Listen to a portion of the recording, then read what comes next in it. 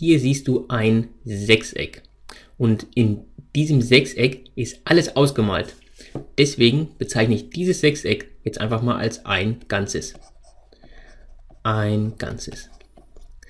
In diesem Video möchte ich dich aber darum bitten, nicht herauszufinden, was ein Ganzes ist, das wäre ja ziemlich einfach, sondern welche von den übrigen 1, 2, 3, 4 Sechsecken haben denn zwei Drittel ausgefüllt? Also welches von den übrigen Sechsecken ist zu zwei Drittel ausgefüllt? Mach am besten kurz Pause und probier dich mal. Okay, ich gehe jetzt davon aus, dass du es probiert hast. Jetzt lass mich mal versuchen, wie ich das machen würde. Also, ich male mir einfach mal nochmal ein neues Sechseck hier hin. Gucken, wie gut ich ein Sechseck malen kann. Ja, das sieht doch erstmal ganz okay aus. Ja, das sieht ganz okay aus. Und in diesem Sechseck, das unterteile ich jetzt in drei Teile. Ich will jetzt in diesem Sechseck hier schauen, wie viel muss ich denn davon ausfüllen, um halt eben zwei Drittel ausgefüllt zu haben. Also wenn ich das jetzt hier mal in zwei Drittel, äh, in, in Drittel unterteilen will, also in drei Teile, würde ich sagen, mache ich das so und so. Dann habe ich jetzt hier einen Teil und wenn ich nach, nach hier gehe, dann habe ich jetzt drei gleich große Teile. Hier ist eins, hier ist zwei und hier ist das dritte. So, ich mache die Zahlen wieder weg, sonst verwirrt das nur. Und von diesen drei Teilen möchte ich jetzt zwei ausgemalt haben.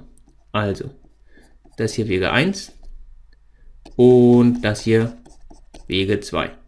Also so ungefähr würde ein Sechseck aussehen, das zu zwei Drittel ausgefüllt ist. Jetzt kann ich mir gut vorstellen, sagst du natürlich, ja, Andy, das ist ja ein bisschen einfach.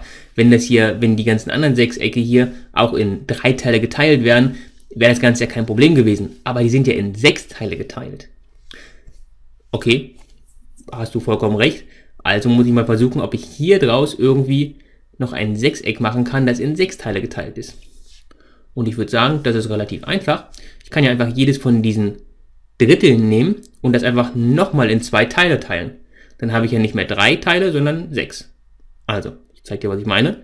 Wenn ich jetzt den hier in zwei Teile unterteile und auch das hier unten in zwei Teile unterteile, und das nicht ausgefüllte auch, dann habe ich ja jetzt 1, 2, 3, 4, 5, 6 Teile.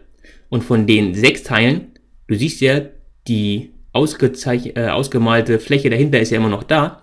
Davon sind jetzt 4 Sechstel ausgemalt. Also, ich habe jetzt 6 Teile draus gemacht und davon sind jetzt 4 Stück ausgemalt.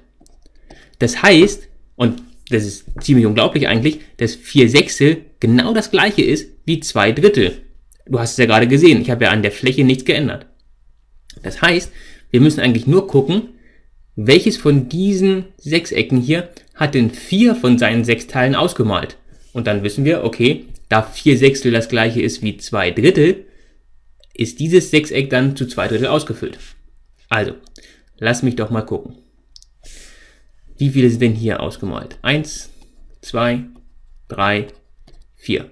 Sehr gut. Eben habe ich mitgekriegt, vier Sechstel sind zwei Drittel. Ist genau das gleiche. Also ist das Sechseck hier zu zwei Dritteln ausgemalt. So, das nächste hier drüben hat eins, zwei.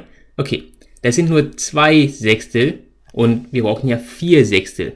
Also, das ist leider nicht mit dabei. Was haben wir hier unten noch? Eins, 2, 3, 4. Sehr gut.